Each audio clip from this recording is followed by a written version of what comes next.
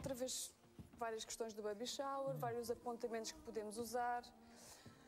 Depois, aqui há vários utensílios que não podem mesmo faltar em casa.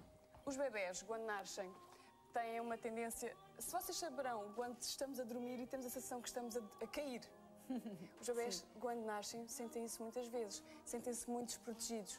Portanto, nada melhor do que em casa, com uma manta ou com uma fralda, fazer técnica do lençol, que é embrulhar o bebê, para se sentir mais protegido, sentir-se mais aconchegados e mais facilmente dormem. Caso ah, seja mais difícil fazer isso, podem comprar este utensílio, este saquinho, em que colocam aqui o bebê dentro, fecham-no e ele sente-se como dentro de um envelope e fica muito protegido. Quase como se estivesse de volta Dentro- à barriga Exatamente, da mamãe, não é? sente-se- exatamente. Sem dúvida. Se não, também, se não tivermos esse saquinho, fazemos com uma mantinha, não é? E a carne, que é técnica mais do envelope. A técnica do envelope. Ahm, esta almofada também é muito importante termos em casa porque faz com que o bebê não fique com a cabeça defeituosa. Se pudermos avançar, ah, há uma lista que eu coloquei de, de utensílios indispensáveis para, para o bebê. Esta é uma delas, esta almofada. O bebê encaixa aqui a cabecinha e faz com que não fiquem com as cabecinhas Claro, deformadas, às vezes que com são umas muito peladas e mesmo. tudo, não é? Aquelas falhinhas de Sim, cabelo. sim. Os tecidos ainda estão muito moles, não é? Exatamente. Termómetro, também é preciso. Se eu É. lembro-me bem. Aqui o termómetro, ah, tu saberás. Termómetro para o banho, por exemplo. é fantástico, não é? Sim. Só aproximar. Este termómetro pode ser utilizado no bebê e também no banho e na sopa. Sim. Ah, apesar de nós, depois parece que temos um termómetro na mão, percebemos para quando é Para que quem está. não tem o hábito. Ao início, eu nunca usei termómetro, confesso. Sim. Sempre me guiei pelo, pelo, Pelo meu- tato. pelo tato. Mas é importante ah, ter um termómetro para estas, para estas situações todas.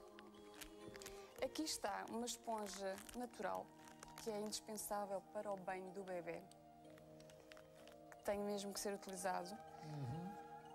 Ah, a tesoura ou uma lima. Os bebés muitas vezes nascem com as unhas bem nascem- grandes Sim, sim, já nascem com unhas grandes. e convém ter ah, uma tesoura para cortar ou limar ah, as unhas dos bebés. E nem sonham o quanto é importante porque o bebê depois está constantemente a cortar-se com as suas, com as suas unhas. Não é? É, É. ela está sempre a arranhar Está a sempre a fazer feridas. Letícia.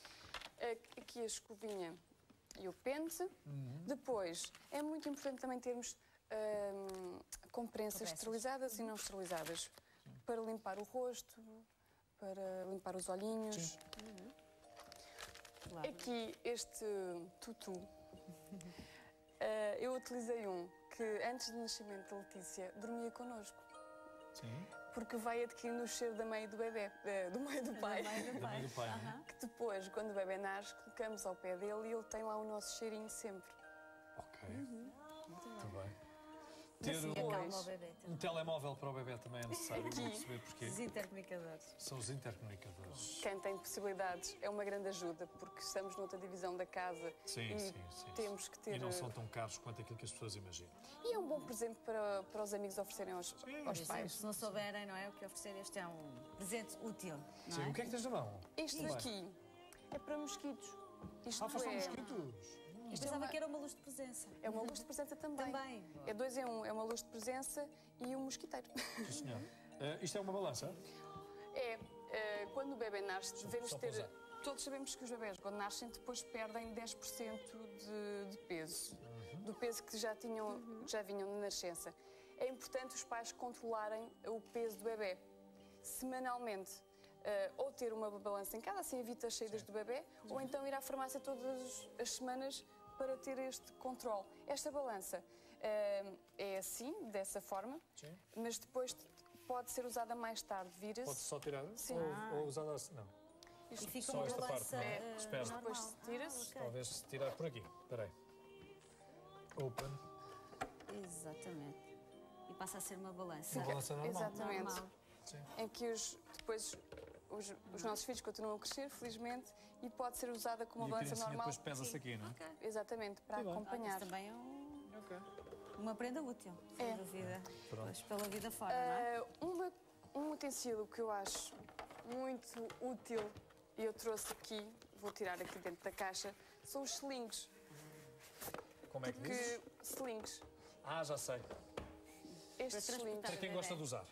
É Não é? para quem Nem toda a gente gosta de usar.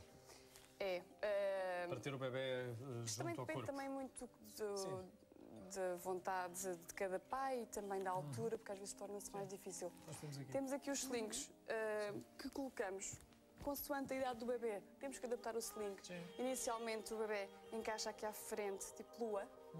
Depois o bebê vai crescendo, podemos encaixá-lo mais de lado. Tipo muda. Claro. Sim. Sim. Eu uso isto com a Letícia. Ahm, e o que é importante aqui na utilização de um sling é ter atenção, que o bebê tem que estar sempre, primeiro encaixamos o tabinho e cuidado com a cabeça e com a respiração, porque às vezes temos a mania de que consigo fazer tudo, mas temos atenção que ao dobrarmos aos nossos movimentos, Claro. temos uma criança aqui muito delicada, temos de ter muita atenção à cabecinha e ao pescoço. Ah, como eu acho que isto é muito importante, também porque é um elo, é, acho que aproxima ainda mais não é? a mãe e o bebê, vamos oferecer dois lá para casa. Sim. Ah. Já agora convém, não é? Um para o pai e outro para a mãe. Sim, temos estes dois links para quem ligar. É o nosso número de telefone, pode ser? É. 227 156 256. 227 156 256. São dois links, não é? É, temos estes dois links para utilizarem.